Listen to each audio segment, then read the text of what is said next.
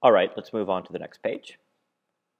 So we have the situation of, you know what, I'm sorry, I need to apologize for this. I gave you guys the wrong number. So if you're looking at this, it needs to be 9 newtons, and I'll put that note in the web page. So um, we're pushing a box with 9 newtons. We need it to move at constant velocity. We want to know the force of gravity on the box. Um, so let's go ahead and do that.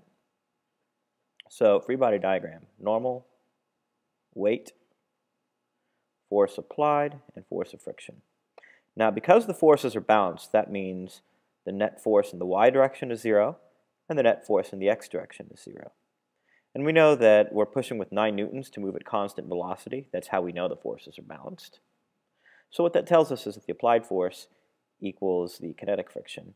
And since the applied force is 9, um, that means the, uh, yeah, basically this is the horizontal floor. So that and that applied force, kinetic friction equals 9.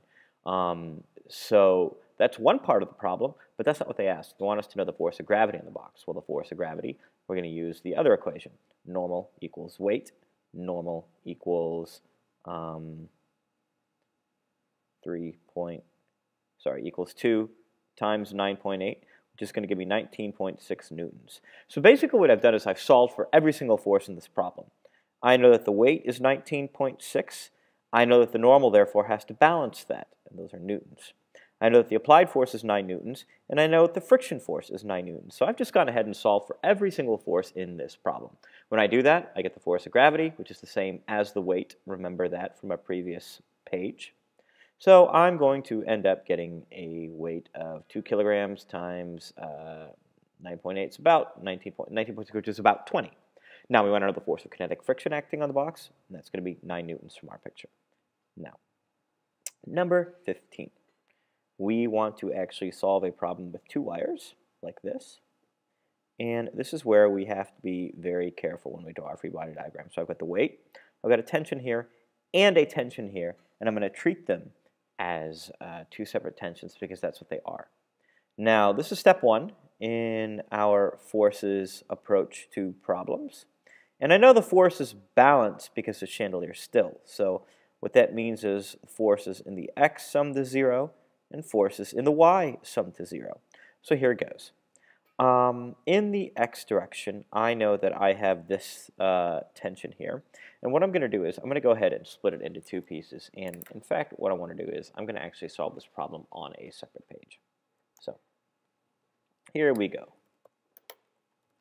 So here's the idea.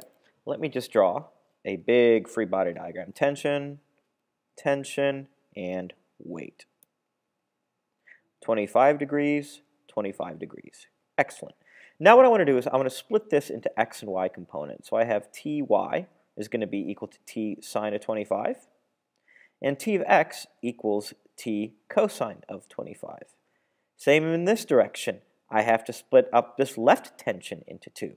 So I have tx equals t cos 25, and ty equals t times the sine of 25.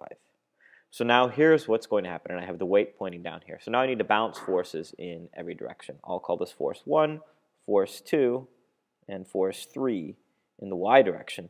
So in the y direction, I know that I have ty plus ty minus weight balance out. That's force 1, force 2, and force 3. I just wanted to label those. And then in the x direction, I have tx equals tx. True, but useless. It doesn't help us solve anything. So let me try to use this equation to get the answer to the question.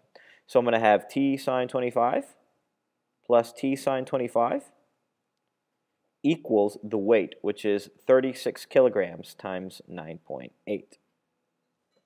So when I go ahead and solve this, I'm actually going to end up getting, I'll write it down here, 2t sine 25 equals 36 times 9.8. And that's going to give me 352.8 newtons. And now I need to isolate the letter t. When I isolate it, the answer that I actually get for the force is going to be 417 newtons, which is choice D.